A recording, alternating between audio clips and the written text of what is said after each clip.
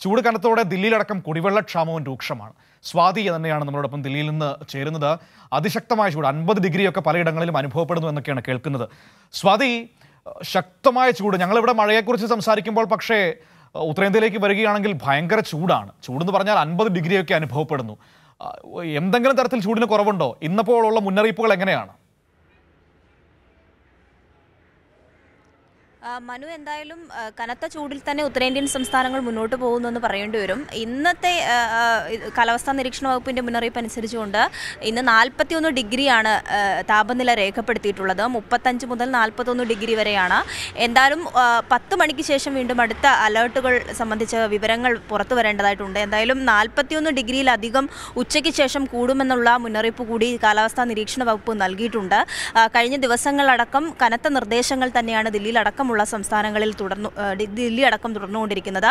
ഉത്തരേന്ത്യൻ സംസ്ഥാനങ്ങളെ സംബന്ധിച്ച് അൻപത് ഡിഗ്രിയിൽ അധികം അധികത്തിലേക്ക് താപനില ഒരു ദിവസവും വർദ്ധിക്കുന്ന ഒരു സാഹചര്യത്തിൽ കുടിവെള്ളക്ഷാമം അടക്കം രൂക്ഷമായിക്കൊണ്ടിരിക്കുകയാണ്. ദില്ലി കനത്ത കുടിവെള്ളക്ഷാമത്തിലേക്ക് പോയിക്കൊണ്ടിരിക്കുകയാണ്. അതുകൊണ്ട് തന്നെ കഴിഞ്ഞ ദിവസം ദില്ലിയിൽ കടുത്ത നിയന്ത്രണങ്ങൾ സർക്കാർ പ്രഖ്യാപിച്ചിട്ടുണ്ട്. മാത്രമല്ല ദില്ലിക്ക് അവകാശപ്പെട്ടുള്ള അവകാശപ്പെട്ട കുടിവെള്ളം അടക്കം ജലം ഹരിയാന ഉൾപ്പെടെയുള്ള സംസ്ഥാനങ്ങൾ നൽകണം എന്ന് ആവശ്യപ്പെട്ടുകൊണ്ട് സുപ്രീം കോടതി വരെ ദില്ലി സർക്കാർ സമീപിച്ചിട്ടുണ്ട്.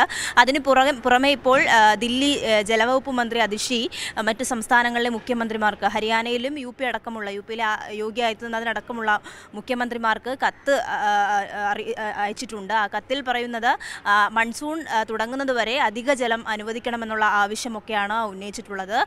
എന്തായാലും കടുത്ത കുടിവെള്ളക്ഷാമം രൂക്ഷമായിക്കൊണ്ടിരിക്കുന്നു കഴിഞ്ഞ ദിവസങ്ങളൊക്കെ ഇത് സംബന്ധിച്ച ദൃശ്യങ്ങളൊക്കെ പുറത്തു വന്നിരുന്നു. ടാങ്കർ വാട്ടർ ടാങ്കുകൾക്ക് പിന്നാലെ ജനം ഓടുന്ന അടക്കമുള്ള സ്ഥിതികളാണ് ഉള്ളത്.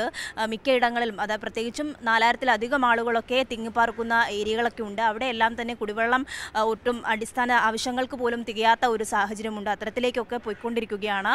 അൻപത് ഡിഗ്രിയിലധികം മറ്റ് സംസ്ഥാനങ്ങളിൽ ഹരിയാന പഞ്ചാബിലടക്കം കഴിഞ്ഞ ദിവസങ്ങളിൽ അമ്പതിലധികം ഡിഗ്രി താപനിലയാണ് രേഖപ്പെടുത്തിയിട്ടുള്ളത്.